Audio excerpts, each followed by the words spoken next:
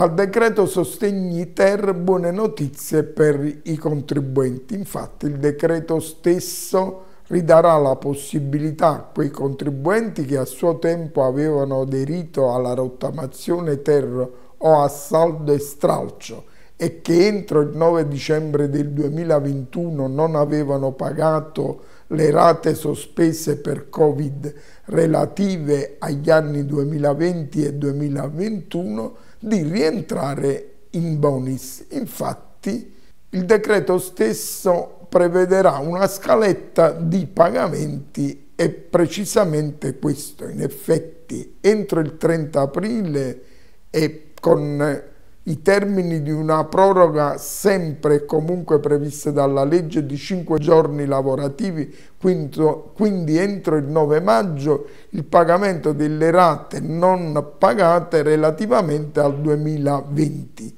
Entro il 31 luglio più i canonici 5 giorni lavorativi bisognerà pagare le rate non pagate relative all'anno 2021 entro il 30 novembre più i canonici 5 giorni, in effetti bisognerà pagare le rate del 2022. In effetti dobbiamo dire era una misura che noi invocavamo perché non era giusto in un momento di crisi totale prima della, per la pandemia e poi addirittura anche per la guerra che questi contribuenti pur avendoci messo buona volontà non avevano avuto la possibilità di pagare perdendo la possibilità dell'agevolazione delle sanzioni ed interessi relativi alle cartelle per le quali avevano aderito alla misura perché naturalmente tutto questo aggravava già la, una posizione